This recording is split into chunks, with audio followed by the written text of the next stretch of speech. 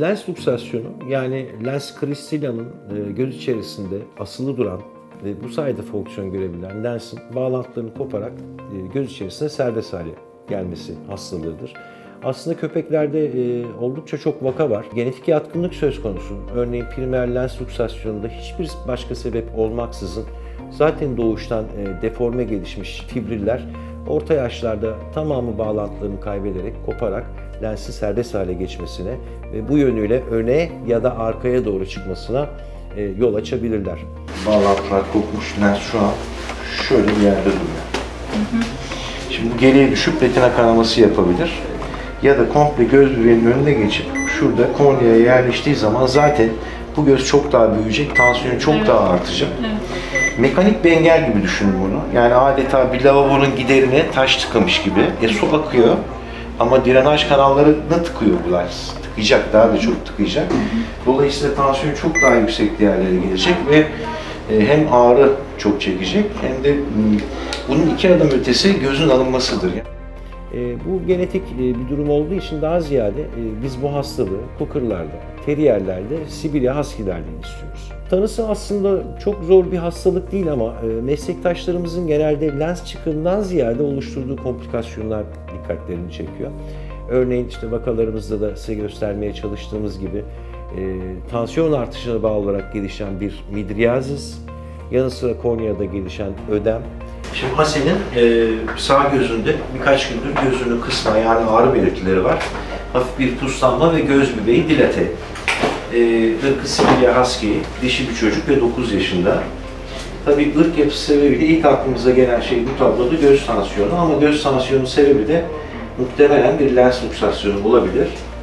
Önce tansiyonunu ölçüyoruz. Anket onu bekle. Tamammış. Aferin.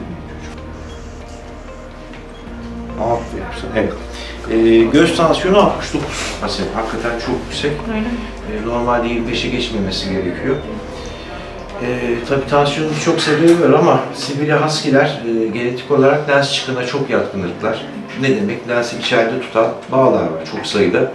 Bu bağlar e, da, aslında doğuştan genetik olarak deforme geliştiği için ki bunlar en çok minik aşil tendonları gibi düşünebilirsiniz. Böyle binlerce çepeçevre. Yıllar içerisinde özellikle orta yaşlarda, ileriye doğru giden yaşlarda o deforme bağların önemli kısmı koptuğu zaman lens biraz serbest hale kalıyor. O zaman hem bulanıklaşıyor hem de tansiyon gibi bir komplikasyona yol açıyor. Şimdi bir de ultrasonla bakacağım. Yani lens öne doğru mu, arkaya doğru mu yer değiştirmiş diye. E, ağrı kaynaklı ve tansiyonun yükselmesine sebebiyle ortaya çıkan bir episkleral konjesyon yani konjüktivadaki, konjüktivanın altındaki episkleral damarların genişlemesi genellikle dikkati çeker. Bunun yanı sıra ağrı sebebiyle e, göz kapakları kısılır. Yani bir blafora spazm durumu söz konusudur. Lens luksasyonlu gözler daima ışıktan rahatsız olur, fotofobiktir. Bunlar dikkati çeken semptomlar. Ama muhakkak bir oftalmoskop e, muayenesiyle ya da loş bir odada e, güçlü bir ışık kaynağıyla önden ve yandan yapılacak muayene bize muhakkak fikir verecektir.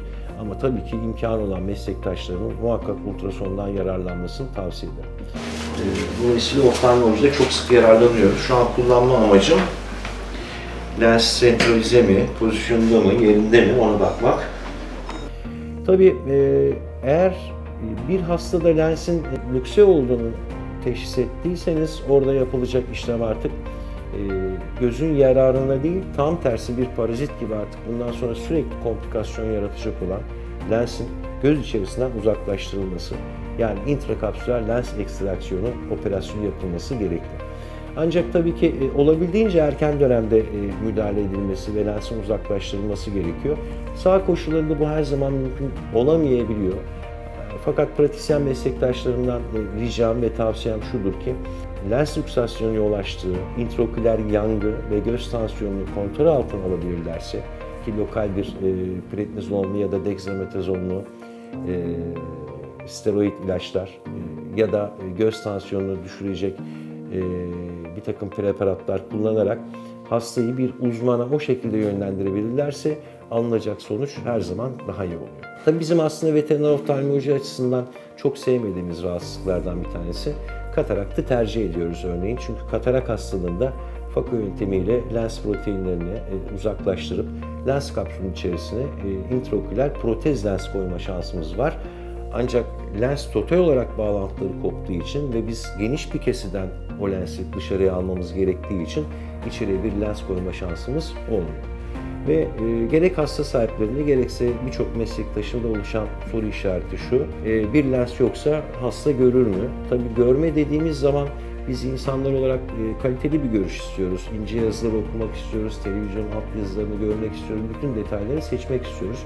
Ancak hiç görmeyen ve ağrı duyan bir canlıda en azından e, lensi total olarak alınmış olsa bile dağınık bir şekilde ışığı retinaya ulaştırmak ve silüet şeklinde bile olsa çevredeki objeleri seçebilmesini sağlamak hastalarımızın hayat konforunu oldukça yükseltiyor. Bu da bizi mutlu ediyor.